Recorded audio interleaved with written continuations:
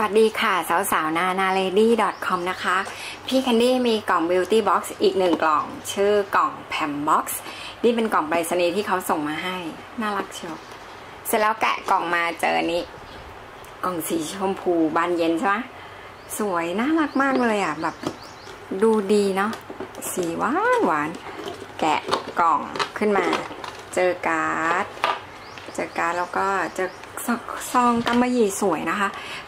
ปักแพมบ็อกซ์ไว้แล้วก็แบบ เอาเอาไปใช้ได้อะทั้งกล่องทั้งกำมะหยี่เลยเนาะน่ารัก น่ารักดี